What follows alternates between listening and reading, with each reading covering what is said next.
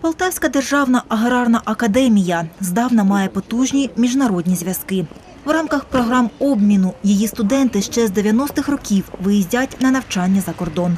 Але можливості хоча б на деякий час змінити виш в межах країни, залишаючись при цьому студентами академії, у них досі не було.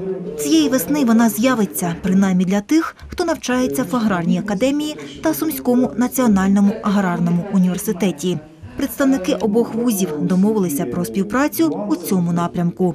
Ми побачили, що студенти в Польщі мають можливість по самій Польщі подорожувати і навчатися в тому навчальному закладі, який їм більше подобається, там чи територіально, чи є якісь е, можливості наукових досліджень. От е, в мене зародилась така ідея е, запровадити подібний проект в Україні. І сьогодні вже є постанова Кабінету міністрів, де зазначено порядок проведення права на академічну мобільність. Серед студентів аграрної академії вже є бажаючі поїхати на навчання до Сум. Так само прагне взяти участь у програмі академічної мобільності і молодь Сумського національного аграрного університету.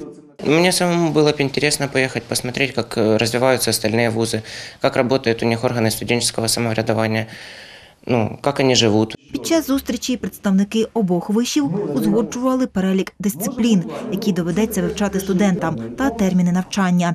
Студенти можуть не перейматися над тим, що вони тут е, пропустять там певну кількість занять, адже всі дисципліни, які вони прослухають, е, вивчать в стінах іншого навчального закладу, будуть зараховані в їхньому основному Стипендію, зазначалося, молодь отримуватиме за основним місцем навчання. Житлом учасників програми забезпечать.